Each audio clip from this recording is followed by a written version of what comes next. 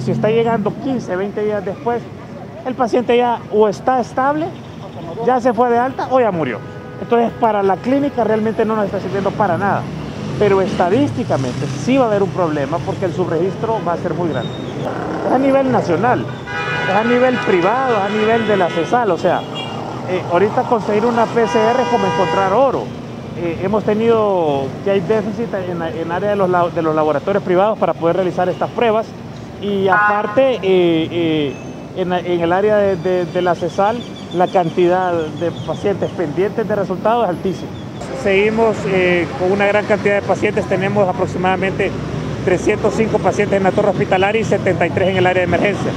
Eh, obviamente día a día seguimos creciendo en cantidad de pacientes hospitalizados, pero estamos viendo la forma de cómo aumentamos la capacidad instalada para poderle dar eh, atención a todos estos derechos ¿Qué, ¿Qué espacios físicos han visualizado el hecho de poderlos atender?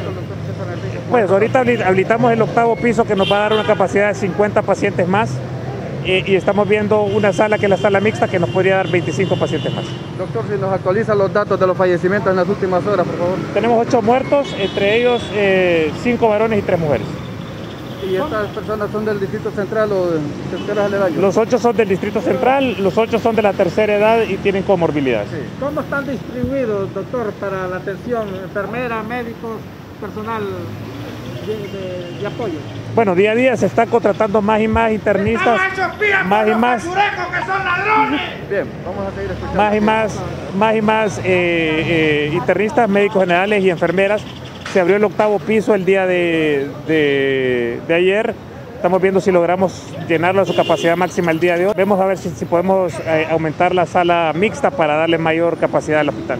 Hemos estado viendo desde hace tres semanas, pero día a día vamos, estamos viendo cómo abrimos más y más salas para darle respuesta a todos los derechohabientes. ¿El despacho que se está habilitando en el octavo piso ya está listo, doctor? Sí, ya está listo. Ya ayer habilita, eh, tenemos 25 camas ocupadas, pero queremos ver si podemos habilitar 25 más. Obviamente necesitamos tener todo el personal de enfermería para darle abasto a, la, a las 50 camas. Y... Todos estos pacientes que buscan eh, atención médica, doctor, que padecen de otras patologías, ¿cómo van a hacer? O sea, el hospital se dividió. Hicimos una sala que es una emergencia que es no COVID y tenemos una, una sala general que es no COVID, que es el área donde estaba la consulta externa. Y la, la emergencia no COVID es el área donde estaba endoscopía hemos separado totalmente las dos emergencias, porque usted no puede dejarle dar atención al derechohabiente que no tiene COVID, pero tampoco le puede dejar atención, dejar, dar, dejar dar atención al paciente que es COVID. Entonces, el, el, el, Seguro Social es un, es un hospital que es para todos los derechohabientes y a todos tenemos que darles atención. ¿Con normalidad se están atendiendo las otras áreas en el hospital del Seguro Social? Con cierta normalidad. Hay ciertas áreas como la consulta externa que ha disminuido su capacidad debido a que son pacientes que no tienen una suma de emergencia. Y estando en una emergencia tenemos que darle atención al paciente que está más grave. Entonces el paciente que es electivo, que puede esperar, va a tener que esperar hasta que esta pandemia disminuya. ¿Qué otras áreas están en este momento a medio vapor, doctor? Pues que mire, la verdad es que no es que está a medio vapor.